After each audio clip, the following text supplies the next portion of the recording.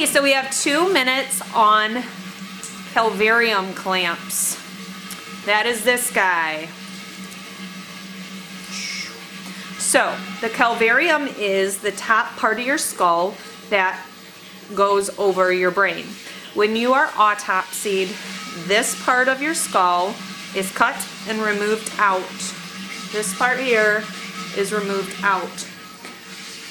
It is done so they can examine your brain, remove the brain, look at the brain stem, kind of check everything out. However, when we put a person back together, we have to make sure that that piece of the skull locks into place because if the body's moved around, it can pop out of place and you can get this like bump on the forehead or the head can be askew like this.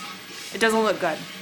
So we have to put, make sure that that calvarium is locked to the base of the skull. So these are one way to do it.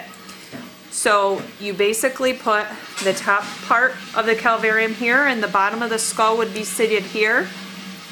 And you just screw with a screwdriver and tighten it up and it pulls it and locks it together. You would do one on each side. Sometimes people do a few of them it can make a little bump on the outside of the skin. You can maybe see it, but typically hair will cover that.